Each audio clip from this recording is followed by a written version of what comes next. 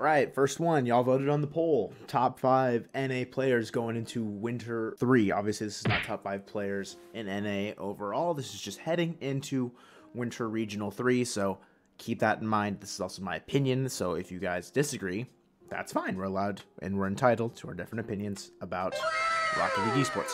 So starting off, I'm just going to give some honorable mentions, some players to look out for, but I don't think are necessarily in my top five. Starting off with Aqua, he can carry Rogue to a top six, maybe even a top four if they're lucky, and they're playing really well together as a team, and they could potentially steal that fifth spot in NA. Aqua's been really solid. He's been obviously the best player on Rogue. Second is Atomic.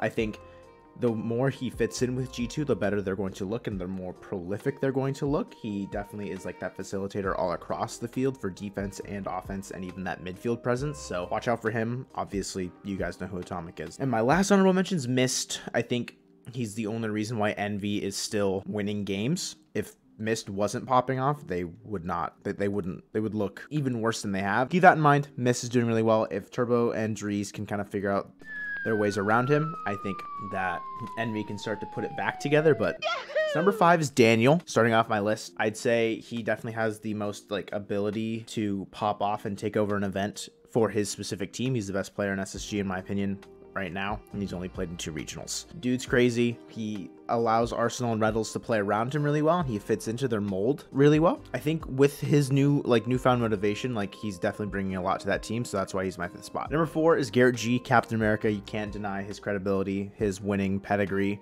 and even he has the stats to back it up. I think NRG withstanding NA for so long and like all the different players coming in, the new rosters coming in, the fact that Squishy, Garrett, and Justin have stuck since RLCSX until now is a testament to who they are as a team and what they and who they are as players. And Garrett, to me, is a top five NA player going to Winter Regional Three. My third player is Chicago. I'd say Chicago is the best player in G2 right now. He's the facilitator for the offense, and his offensive prowess is what keeps them winning games. They actually had a negative net score this last regional that they won and their saves i think they were third worst in differential like they were like negative like 1.4 or something like that in saves per game but their offense is so strong because of chicago. Also like atomic and JKnaps but chicago to me is their best player right now. This is probably going to give away my number one but my number two player heading to winter regional three is Firstkiller he is the best player in FaZe no doubt in my mind. He led winter regional 2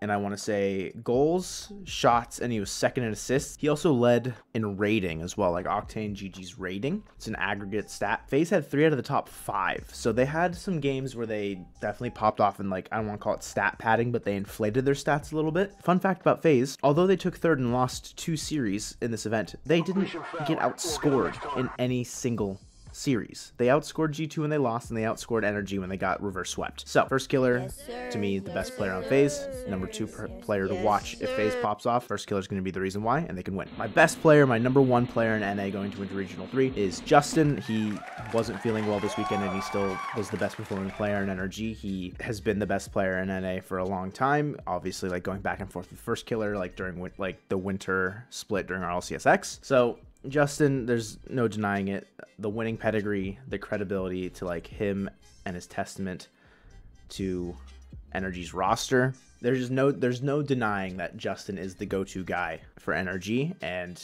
he shows up and he never he never folds. He always is that guy. Justin's floor is so high that he it's it's insane what he can do on the pitch. But those are my top five players going to which regional three. If you guys have other players in mind, other things that you want me to say about them, or things that I might have missed, please let me know down in the comments down below. But if you guys enjoyed the video, please leave a like, and I will see you guys later on in the week for another video. But until then, have a great rest of your day. Peace.